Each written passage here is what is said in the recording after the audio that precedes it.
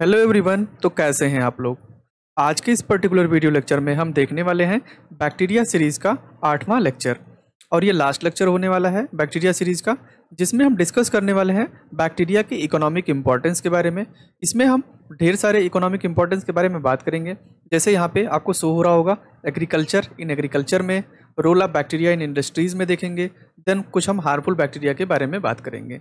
अगर एग्रीकल्चर की बात करें तो सॉयल फर्टिलिटी में उसका रोल आता है जैसे कि अमोनीफाइंग बैक्टीरिया कुछ होते हैं nitrifying bacteria nitrogen fixing bacteria nitrogen fixing bacteria में भी कुछ फ्री लिविंग बैक्टीरियाज होते हैं और कुछ सिम्बायोटिंग होते हैं। Then role bacteria in industries की बात करें तो डेयरी इंडस्ट्रीज़ में उसका यूज़ होता है। Production of organic compound fibre retting curing production of antibiotics production of vitamins तो ये हो गया role of bacteria in industries में। देन कुछ हार्मफुल एक्टिविटीज़ की अगर हम बात करें तो बैक्टीरिया जो होता है फ़ूड स्पॉयलेज में रोल प्ले करता है। फ़ूड पॉइजनिंग में रोल प्ले करता है, damaging of domestic articles, denitrifications, desulphurications, and causes of diseases तो ये ढेर सारे इकोनॉमिक इंपॉर्टेंस आज हम बैक्टीरिया के डिस्कस करने वाले हैं। तो चलिए मूव करते हैं। ये रही मेरे बारे में एक छोटी सी छोटी सी प्रोफ़ाइल ये मेरी है। तो चलिए मूव करते हैं। लेक्चर की तरफ़ और डिस्कस करते हैं इकोनॉमिक इंपॉर्टेंस ऑफ़ बैक्टीरिया के बारे में। तो the bacteria are the best known as the causative agent of diseases तो बैक्टीरिया को जैसे कि हम लोग जानते हैं कि सबसे ये बेहतर तरीके से इसको हम पॉजिटिव एजेंट के रूप में जानते हैं। ये डिजीज़ेस को काज करता है। But bacteria do not always mean disease तो कहने का मतलब ये है कि बैक्टीरिया का मतलब ये नहीं होता है कि वो हमेशा डिज़ीज़ ही काज करेगा। कुछ उसके बेनिफिशियल बेनिफिशियल बैक्टीरियाज भी जो होते हैं, जो यूज़फुल एक्टिविटी में पार्टिसिपेट करते हैं।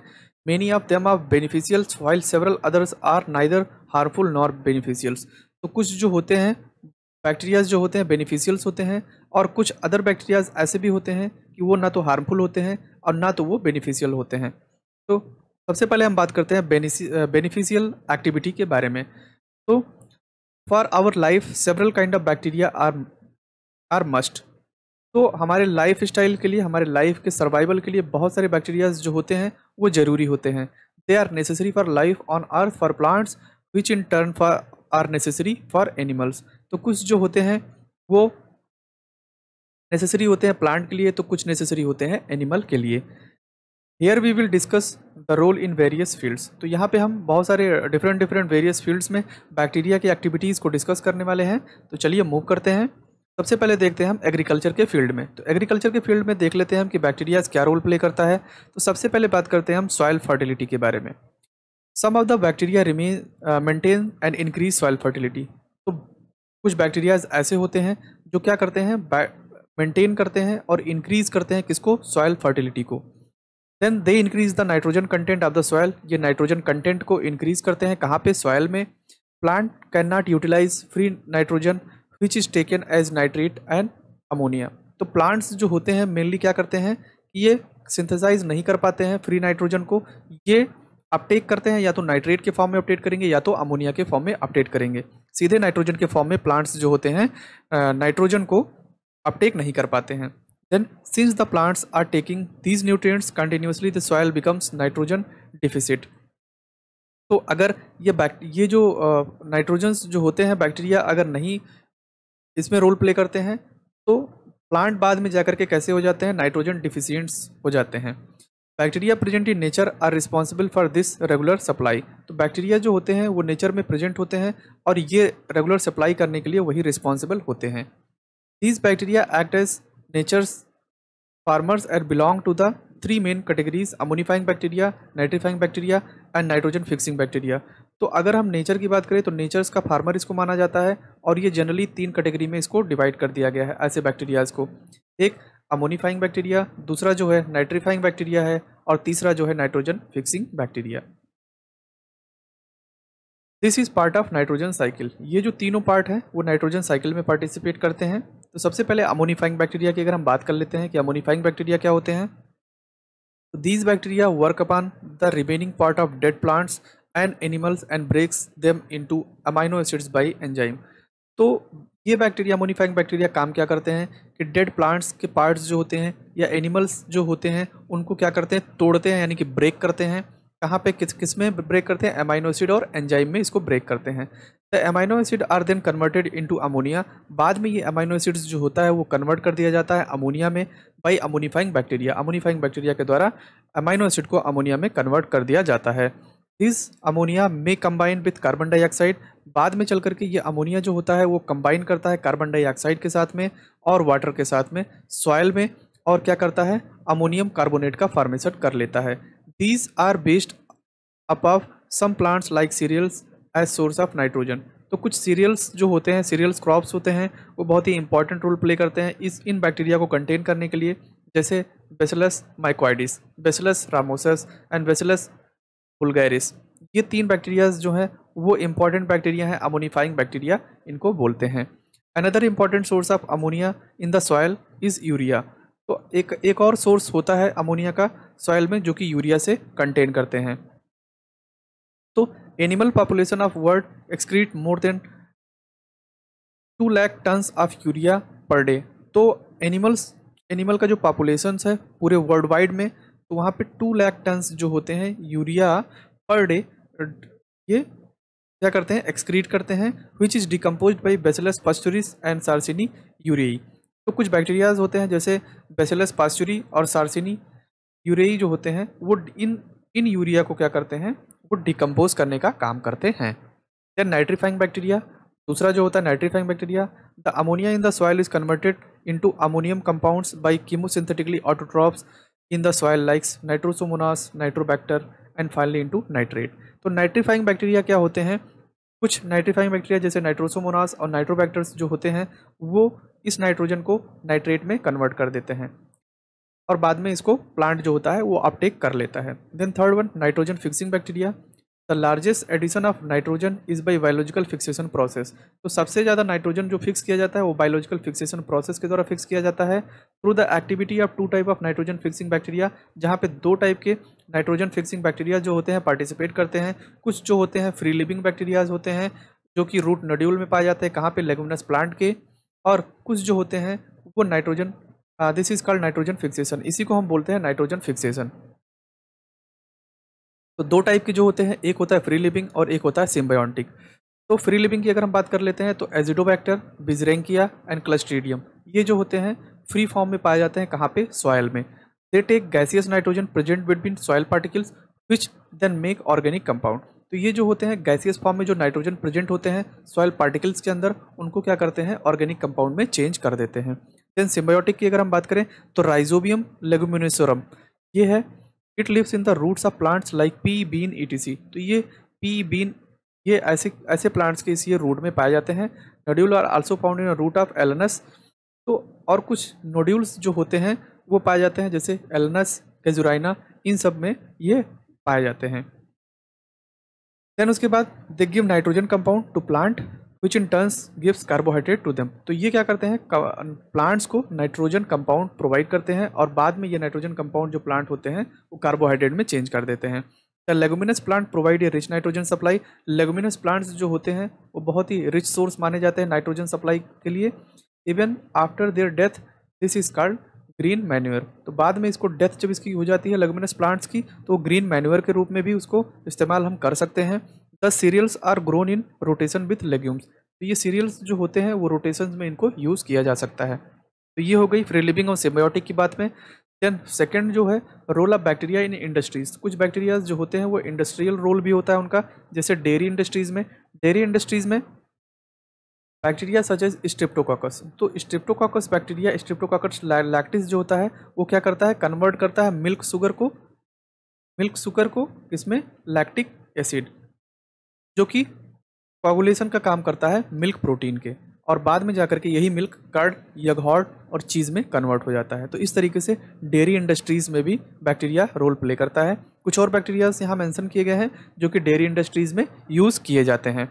Then production of organic compound की अगर हम बात करें, ये कुछ ऑर्गेनिक कंपाउंड का भी प्रोडक्शन करता है।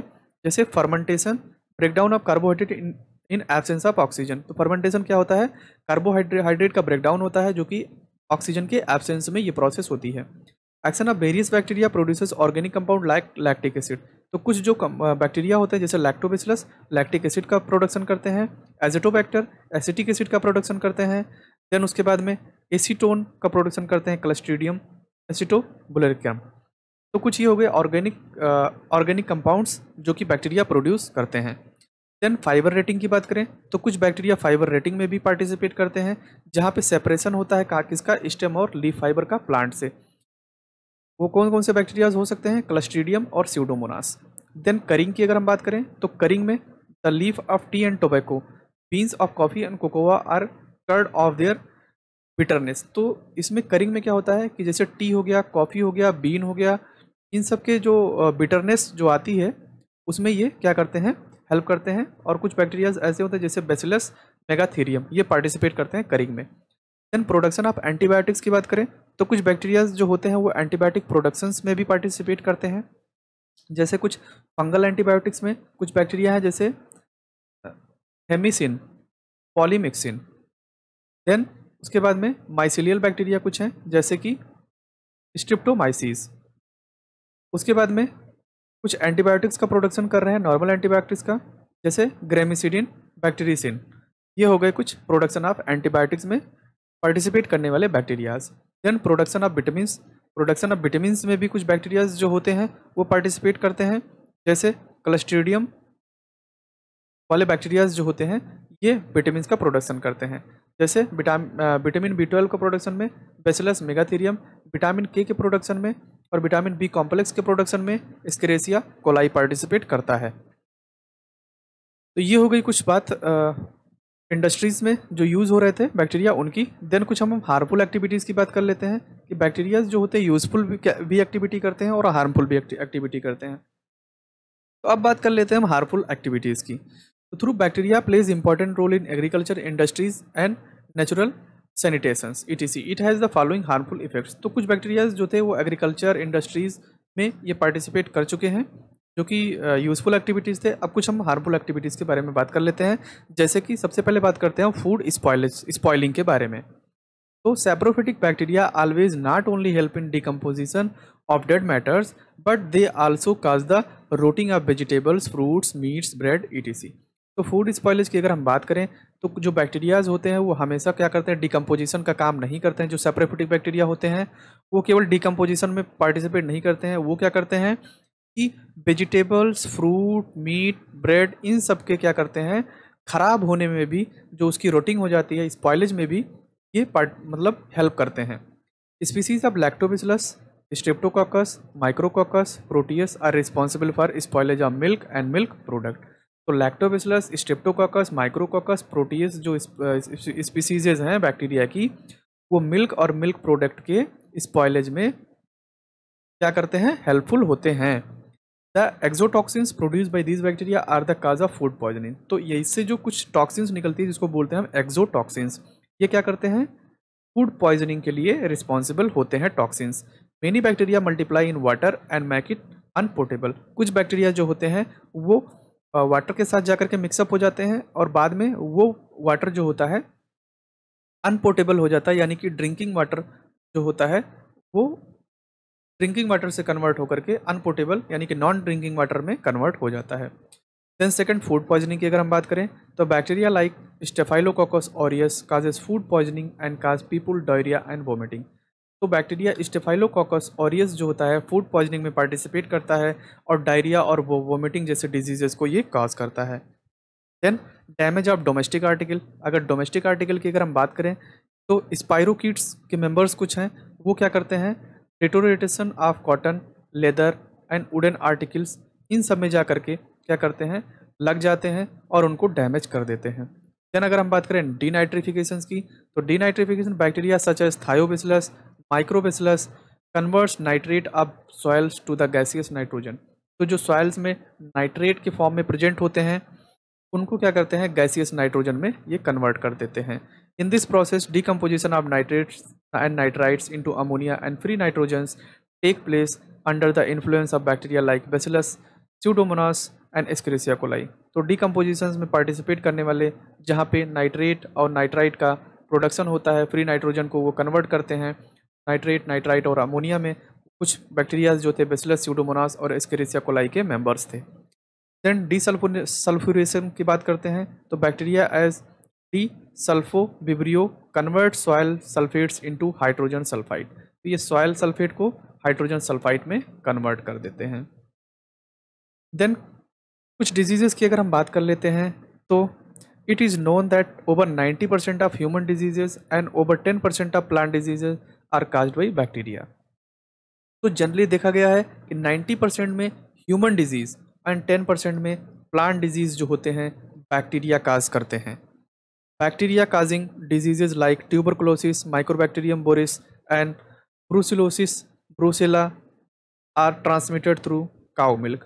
तो कुछ जो डिजीजेज होते हैं, वो बैक्टीरिया के द्वारा काज किए जाते हैं, जैसे ट्यूबरकुलोसिस और कुछ डिजीजेज जैसे है ब्रूसीलोसिस ये ट्रांसमिट किए जाते हैं काउ मिल्क के द्वारा। The botulism disease is cause by exotoxins produce by Clostridium botulinum एक बॉटुलिज्म डिज़ीज़ होता है, जो कि एक्जोटॉक्सिन्स प्रोड्यूस करते हैं कुछ बैक्टीरिया जो कि क्लस्ट्रीडियम बॉटुलिनम जो होते हैं वो प्रोड्यूस करते हैं एक्जोटॉक्सिन्स जिससे कि बॉटुलिज्म डिज़ीज़ काज होता है। Smelling of tongue double vision and respiratory paralysis are main symptoms of diseases तो जिसमें से स्मेलिंग ऑफ़ टंग होता है, टंग से स्मेल आने लगती है। डबल विजन विजन जो होता है डबल हो जाता है और रेस्पिरेटरी पैरालिसिस जो होती है, ये मेन सिम्टम्स होते हैं इस डिज़ीज़ को काज करने के लिए, जो कि एक्जोटॉक्सिन से प्रोड्यूस होता है।